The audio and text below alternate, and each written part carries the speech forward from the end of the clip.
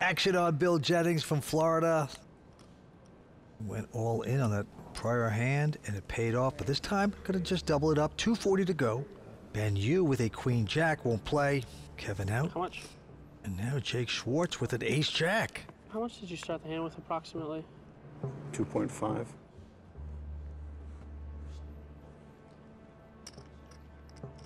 I'm all in. I call. Whoa. Jake goes all in and gets called. Yeah, Jake in a terrible place has pushed. Bill has more chips than he announced, which was 2.5 million. It's close. I mean, I should have asked for an exact. I should have. He just said 2.5. and I- Jake can outflop him here. Let's see. No, it's a king. 9 6, two clubs. King's there for Bill Jennings. Well, great flop for Bill. How do you like your chance right now? Pretty good? Pretty good.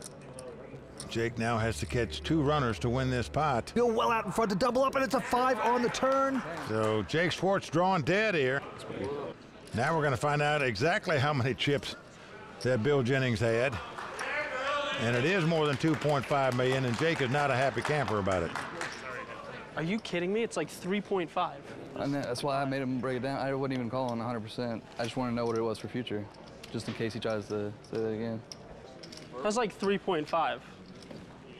All right, I guess. I guess it's cool to angle at final tables for hundreds of thousands of Hey, I- dollars. Jake, Jake, I looked at the screen. It said 2.45 the last time the I screen's looked. obviously wrong. Hey, ask for a count then.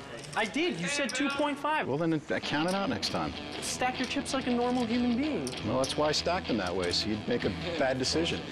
All right, we're cheating these days. It's cool.